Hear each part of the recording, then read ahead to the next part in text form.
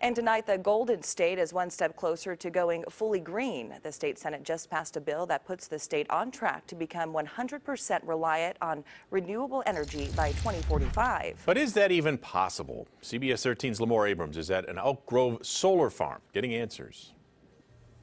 Well, energy experts tell us it'll be expensive, but it is possible for California to rely only on renewable energy by mid-century. The question is how. Many are looking to solar farms like this one, but the problem is it may not be enough. Jump!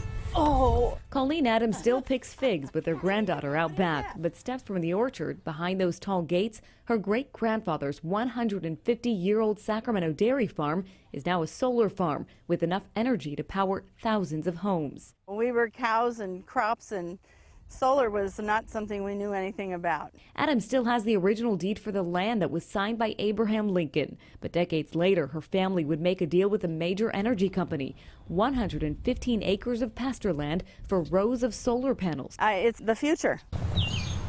The future for the Golden State looks greener than ever. We believe that the future right now is wind, solar. Senator DeLeon is pushing a measure that would require all California power to come from alternative energy sources such as solar, wind, and hydro by 2045. The legislation passed in the Senate, but can it pass the consumer test? Anything's possible if we are willing to incur the costs to get us there. UC Davis economist James Bushnell studies the state's energy consumption. He says a total reliance on renewables is feasible with new technologies. Batteries would either become a lot cheaper uh, and raise their capacity so that you can store up enough energy to take us through, say, the nighttime. But he says those breakthroughs will cost us. I think one of the issues is whether it's a good idea to go 100%. If it turns out that getting to 100% doubles our costs, say, relative to 90%. Technology, I'm personally behind.